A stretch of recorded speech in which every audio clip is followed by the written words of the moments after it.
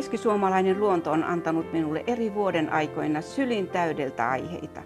Huikaisevan kauniita mäkimaisemia, kimaltelevia järviä, saaria, niemiä, reheviä metsiä, kypsyviä tähkäpäitä pelloilta ja koko elämän rikkauden pujoteltavaksi kiitos mielellä piikkana tekstiileihin.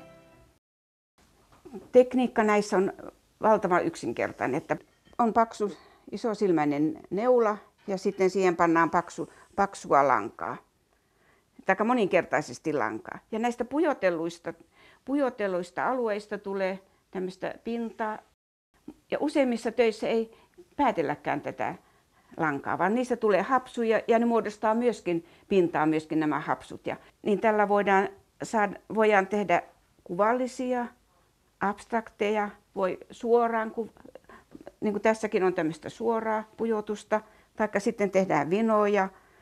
Että, että sen takia tämä, tämä yksinkertainen tekniikka on antanut sitten siis valtavat mahdollisuudet toteuttaa eri väreissä ja eri muodoissa monennäköisiä töitä.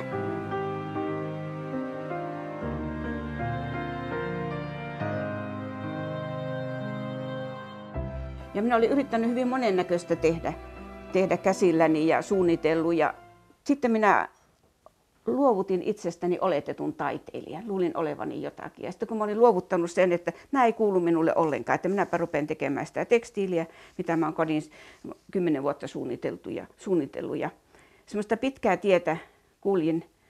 Ja sitten kun se tuli, niin sitten oli semmoiselle valtavalle lähteelle pääsin, että minä vaikka pöydän alle minut pannaan, niin nämä syntyvät. Ja, ja niin ne rupesi syntymään siinä, että mä semmoisella kiihkon vallassa teen. Ja ja useimmat työt on syntyneet sillä tavalla, että mä niin kuin näen ne täältä.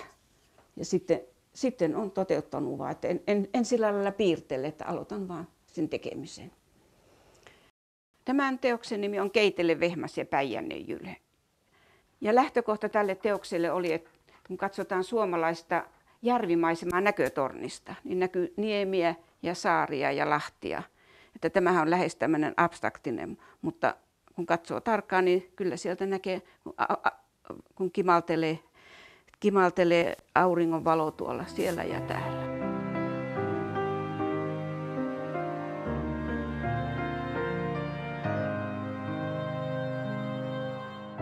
Tässä on tämä teos kotikoivikko. Se on kolmesta eri osasta tehty ja, ja tämä, tämä voi sitten rakentaa vielä tuolla peräseinällä on noita noita paksumpia koivurunkoja ja korkeampia, niin tästä voi rakentaa semmoisen ihan ison koivumetsän. Kyllä se on semmoinen riittävän suuri tila. Ja tässä oli tämä, tämä juhlatyö. Kun Piikkana täytti 25 vuotta, niin silloin minä päätin, että täytyy tehdä oikein, oikein sillä nimellä, että tämä nyt on Piikkanan 25-vuotisjuhlatyö. Ja tämä on kolmesta eri osasta, koska mä haluan, haluan tehdä, oikeastaan aina tekisin vain isoja töitä, seinän kokoisia. Niin, niin tämä nyt on rakennettu kolmesta eri osasesta. Ja, mutta kun se rakentaa näin, niin siitä saa kyllä ihan näyttävän, näyttävän seinän sitten.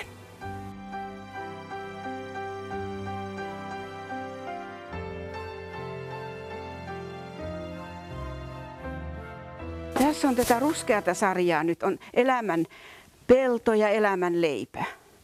Tämä on ihan, ihan omia, oma sarjansa nämä ruskeat. Ja tässä on tätä kolmio, että on pujotettu tällä lailla kolmioksi. Ja sitten tässä on sitä pintaa ja tässä on nämä hapsut, jotka, jotka muodostaa myöskin tämmöisen kevyen kuvion. Tämä työ taas on sitten tätä puusarjaa. Tämä on ikimetsä ja samoin tuolla, tuolla päädyssä on kanssa, niin, niin, niin tämä, on, tämä on näitä puita sitten.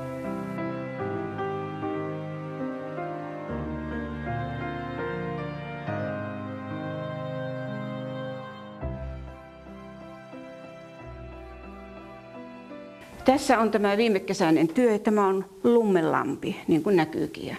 Ja, se, se oikeastaan edellisenä kesänä rupesi näkymään silmissä niin voimakkaana, että ei siinä sitten ollut mitään muuta kuin tein vaan se sitten. Hankin näitä. Tuo on pleksille, tämä on pleksille maalattu. Ja, ja tässä on, mä olen käyttänyt noita lasivärejä, että siinä on tämä veden kimallus, en tiedä miten se näkyy tuossa. Ja sitten, sitten nämä lumpeen kukat vaan saplunalla tehnyt tähän. Tietysti su, tuntui, että suurin homma oli saada se ripustus tuonne, tuonne kattoon. Että, ja tässähän se keinuu nyt sitten. Ja, ja tuntuu, että tätä täytyy nyt, ilmeisesti tämä jää useammaksi kesäksi tähän, kun tämä oli niin suurtöinen ripustaa tähän. Että, että jää aina, ainakin toistaiseksi tämmöiseksi pysyväksi näyttelyksi tähän. Me ollaan nyt täällä Puimalan puolella. Mitäs nämä työt on? No, täällä jatkuu nyt tämä näyttely. Täällä, tässä mustassa riihessä oli nyt viime kesäiset työt, mutta tällä puolella on sitten ihan uudet työt. Ja uutuutena täällä on nyt tämä, tämä perhosmetsä. Ja sitten on, on näitä nuottakota ja puusaari. Puusaari jatkuu oikeastaan tuolla tällä puolella. Nyt on mustavalkoista tällä ja sinistä vaan tällä, tällä puolella.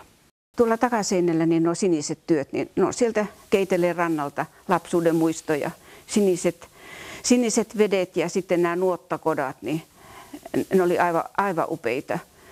Nyt ne on muuttunut tuolla sini, enemmän siniseksi, mitä ne koskaan on ollutkaan, mutta nämä on niitä muistoja. Tässä on tämä suuri puu, tämä on varmaan jo 20 vuotta vanha. Ja silloin kun mä sitä tein, niin mä ajattelin, että laitetaan niin, niin ylös niin kuin suuri puu, että ihan niska ja päässä pitää katsoa sitä sinne. Ja, ja sitten se asettu tähän ja se on nyt ollut kelottuu tässä ja sen nimeksi tuli Honka Mäntypetäjä. Ja silloin mä ajattelin, että, että miten sille semmoinen nimi tuli, mutta nämä Honka Mäntypetäjä. Mutta tuli se veijaritarina sitten mieleen, että ja se, että suomen kieli on niin rikas, että me voidaan antaa kolme, kolme tuota nimeä yhdelle puulle.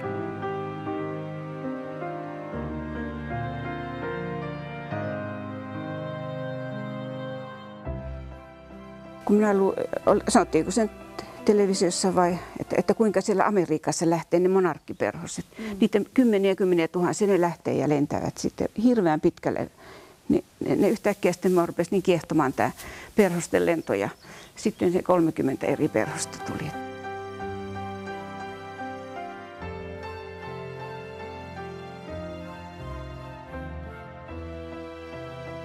Tässä on nyt tämä, tätä puusarjaa ja tässä on käytetty pleksi on päällä ja toinen tuolla alla. Ja minä sain sitten tätä, tätä kiiltoa ja tämmöistä tämmöistä hämyisyyttä sitten tällä tekniikalla, että, että tämä on viehättänyt minua kovasti tämä pleksille maalaaminen.